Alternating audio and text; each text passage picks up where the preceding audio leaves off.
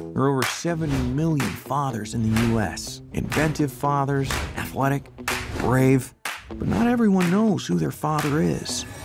For 40 years, we thought we did, until today. I wasn't sure who your father was. How does that It work? was the crazy 70s. Monogamy wasn't exactly a priority. I've always wondered where I got my zest for lovemaking. Now we know.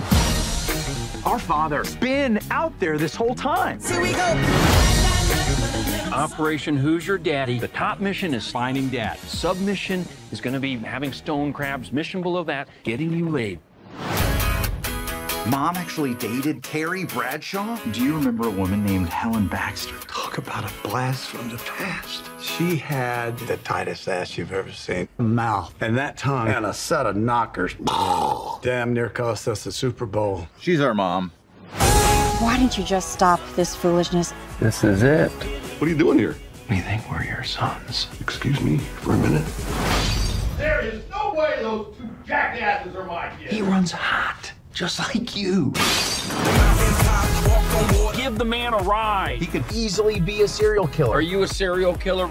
I am not a serial killer. You just emphasize the word serial. Like I'm a killer, but I'm not a serial killer. But that was totally unintentional. You're still not saying, I promise I'm not a killer.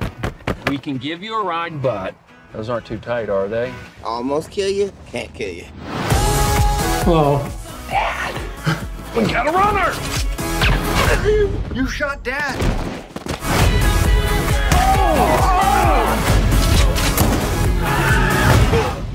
What was that?